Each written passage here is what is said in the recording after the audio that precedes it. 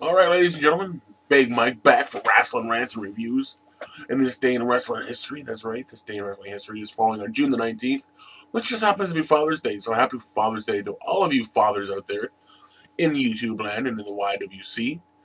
And uh, today we're going about the old format. I didn't like the straight to YouTube video shit. Um, we might fool around with it in the future, but I don't like it now. I don't like it. I don't like it. I like just making my videos like this and then uploading them eventually. Um, so, anyways, enough of small talk. Let's get to some trivia or some useless knowledge. We do have a couple tidbits of it today, so uh, let's get to it. Um, a little bit of trivia. In 1986, Antonio Inoki's back in the wrestling history. That's right. He wins the NJPW, the New Japan Pro Wrestling IWGP League, defeating Dick Murdoch in the final. Fucking league shit, eh? Imagine that. Anyways, 2002, TNA promotes its first weekly pay-per-view show. The event is headlined by Ken Shamrock defeating Malice for the NWA World Title. And in 2005, Tiger Mask 4 wins the New Japan Pro Wrestling Best of the Super Juniors tournament, defeating Ghetto in the final. Or Gato, I should say. I don't want to sound ghetto. um, events for this day in wrestling history, we go back to 1994. WWF held the King of the Ring tournament in Baltimore, Maryland. Uh, we see Diesel defeat Bret Hart by DQ. Hart retains the WWF title. The head shrinker Samu and Fatu defeat Crush and Yokozuna to retain the WWF Tag Team titles. Owen Hart wins the King of the Ring tournament, beating Razor Ramon in the final, and we see Roddy Piper defeat Jerry Lawler. Also on this day in wrestling history, in 2005, we see TNA's anniversary mark the three-year anniversary of TNA Wrestling. And this, again, was held in Orlando, Florida. We see the Naturals, Chase Stevens and Andy Douglas, excuse me, defeat Team Canada, which was Petey Williams and Eric Young, to retain the NWA World titles. Christopher Daniels defeats Chris Sabin and Michael Shane in a three-way elimination match to retain, retain the TNA X Division title. And in Raven, we see him defeat AJ Styles, Monty Brown, Abyss, and Sean Waltman in the King of the Mountain match to win the NWA World title. So uh, moving on, title changes for this day in wrestling history. 1993, we see the Steiner brothers, Rick and Scott, defeat Money Inc., Ted DiBiase, and IRS to win the WWF Tag Team titles. Uh, 1996, we see Wolfie D defeating Brickhouse Brown to win the USWA television title. In 2000, on Raw, we see Gerald Brisco defeat Crash Holly win the hardcore title, but lose it back to Pat or lose it to Pat Patterson before the end of the show.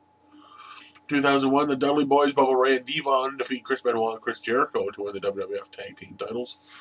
2002, AJ Styles defeats Jer Jerry Lynn and Low Ki and Psychosis in a four-way double elimination match to become that first TNA X Division champion. 2005, Shuji Kondo and Brother YASSHI defeat Tomoaki Honma and Katsuhiko Nakajima to win the vacant All Japan Pro Wrestling Asia Tag Team titles.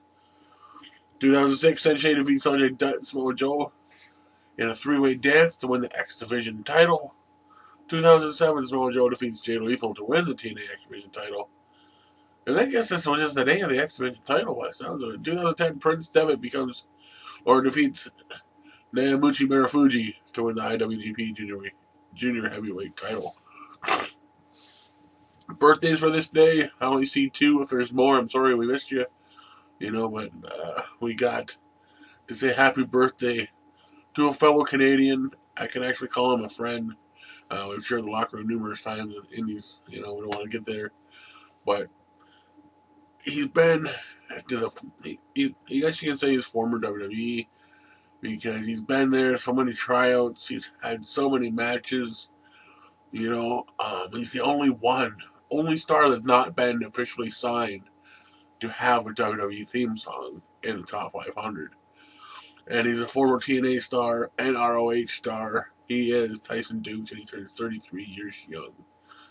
And ECW founder Todd Gordon turns 56. And all of you, you're having a day out there, birthday, and you're celebrating today and along with Father's Day, happy birthday to you. Hopefully you have a great day and good year to come. But as sometimes we do here on wrestling rants reviews and this day in wrestling history. We have a little bit of sad, you know, to go along with some of the good.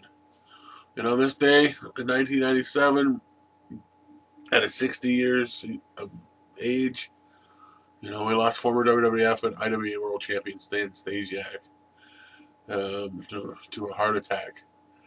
You know, so uh, we want to remember him on this day, and uh, all, all the best go to you and your family on this day. Uh, you know, um, remembering Stan the Man Stasiak.